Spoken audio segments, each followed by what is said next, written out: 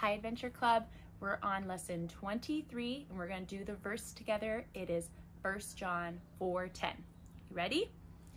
In this is love, not that we have loved God, but that he loved us and sent his son to be the propitiation for our sins.